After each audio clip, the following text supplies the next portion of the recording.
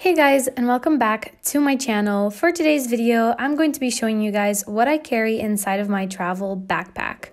The backpack I use the most is this Nordace Comino backpack, I think it's called. And I also love the Nordace Siena, but I found that this bag looks much more like a travel bag, but also just has like different components that the Siena doesn't that are just adequate for travel, including like all of these small little pouches and here in the front and just like a retractable water bottle pouch and a bunch of other things. So I just wanted to show you guys my setup. If you guys like this video or content for me in general, general, please don't forget to like and subscribe.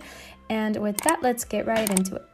If you guys are interested in any of these products, I'm going to be linking them all down below. This bag was actually gifted to me by Nordace, and if you guys have been watching my channel for a while, you'll know that I actually bought their Nordace Siena backpack, I think about two years ago, and I made a packing video with it that went viral, and because of that, they reached out and sort of gave me an affiliate deal. So if you guys do end up purchasing the backpack using my link, I'll get a little commission, which will absolutely make my day and go towards my travel fund. It doesn't make the backpack more expensive for you. I also wanted to make the disclaimer that I'm not traveling right now, except for doing a little bit of like nature exploration and some sort of city walks nearby, because obviously everything going on in the world makes it not so safe.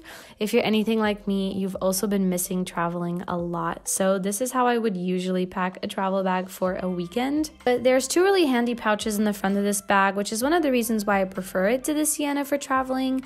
And one of the things that I like doing is allocating one of these pouches to tech stuff. So I carry a power bank and I carry my SSD card because usually some of these trips I go on, I still have to work and do some editing. So this is the SSD drive that I love. And I also bring a phone charger, obviously.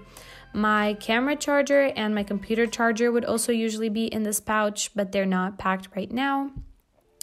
The camera that I'm filming on right now would also be in this bag, but obviously I couldn't film it in here because I'm using it to film it. I also bring these Jaybird uh, wireless headphones with me. They're super handy and they last a long time. So they're also perfect for doing like hikes and sports and stuff because they're still wired together so they wouldn't fall out of my ears as easily. And on this second pouch, I like to keep just these little friendship bracelet strings.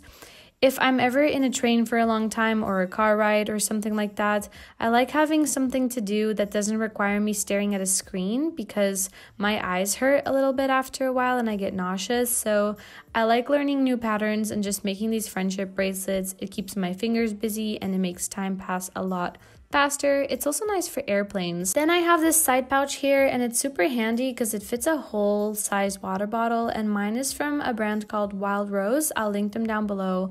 I love them because the water stays cold or warm for literally 12 hours. It's insane. So I bring this bottle everywhere I go. This bag also has a super handy like side zipper. So if you ever want to access something like in the bottom of your bag, you can actually do it with through the side. And then it has this like secret pouch in the back for passports and this little section here that you can use to put this bag on a carry-on um, in case you ever need to be hands-free. And the drawstrings of the bag are actually reflective, so it makes it super safe if you're walking around at night that cars and stuff can see you. And then in this main pouch, as you can see, it's a pretty big main pouch. The bag looks a lot smaller than it actually is, and I was surprised at the capacity of this thing. Um, I'm going to take my toiletries out so you can see. But yeah, it has a lot of space in here, so just wanted to show you guys how I organize that in there. So the first thing that I have in there is my toiletry bag and I usually take my bamboo toothbrush. You guys know that I love trying to um, be a little bit more sustainable when I can. And so I love the brand Bamboovement and I have literally all of their products. It was started by a friend of mine, so I'll leave, leave them linked down below if you guys are interested. I use their toothpaste tabs um, just because I find that they're easier to carry than toothpaste tubes, and if you're taking an airplane anywhere, they don't count as a liquid. Then this is my little face wash. I got this small bottle of it gifted to me, so I refill it um, whenever I go somewhere so that I don't have to take the gigantic container, the original one. And this is my moisturizer. I love it because it's mattifying. I also carry this uh, POREfessional cream by Benefit.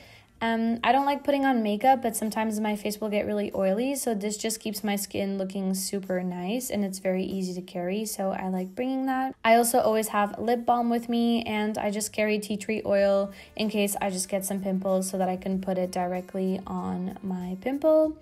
And then you guys know I love shampoo and conditioner bars. I'm showing you these boxed ones because my actual ones look disgusting. So I'm just showing you these ones that I haven't opened. But this is the conditioner bar and the shampoo bar. And I would usually carry them in these round little tins. But like I said, mine looks so gross. So I'm showing you these, ones to spare you guys. And there's the deodorant I love.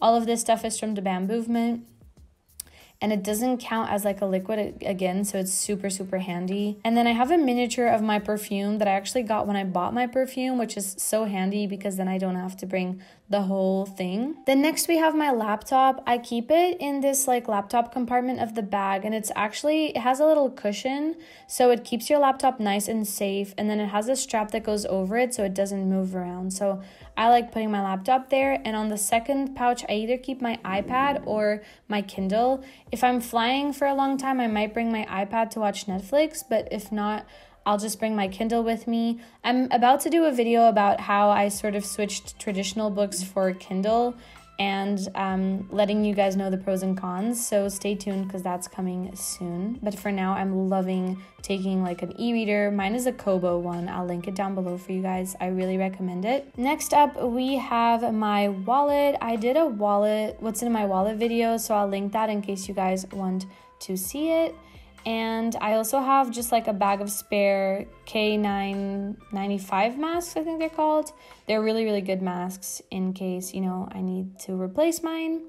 And then I have a packing cube. These are also from Nordace. I will show you guys how I organize this one. But I made an entire video about how I use my packing cubes. This is just a little brush that I bring with me. It's super small and handy.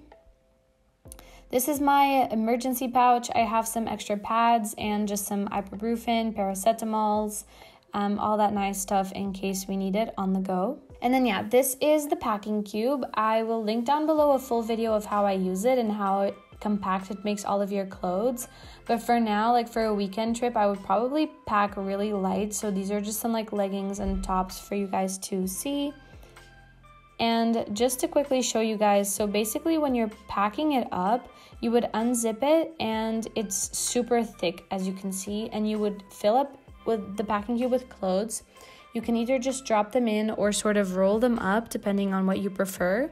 And then you zip it up and it becomes a super condensed packing cube, which is so handy and then I just slide that right into my bag and it actually fits two of these. So if you go buy stuff from Nordace and you buy the Comino bag with the packing cubes, then you know that you can actually fit two of these in the big compartment of the bag. So that's really handy. Yeah, as you can see, everything fits really nicely. Has a bunch of little compartments inside, which I love. If you guys like this video, please don't forget to give me a big thumbs up and subscribe. And I will see you guys in next week's video. Bye.